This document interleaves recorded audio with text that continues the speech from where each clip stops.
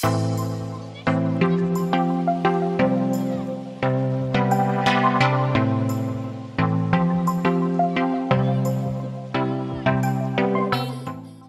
encourage multidisciplinary thinking, cross-disciplinary interactions, and research collaborations with engineers, physicists, chemists, and faculty from the arts and humanities.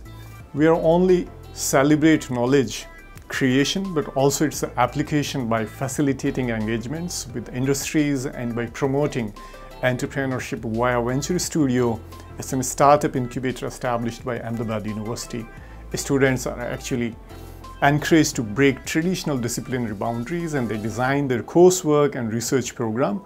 Throughout the program of study and research, we emphasize scholarship and provide an environment that is open to intellectual discussion. Our faculty are from diverse, often interdisciplinary backgrounds with many engaging in interdisciplinary research.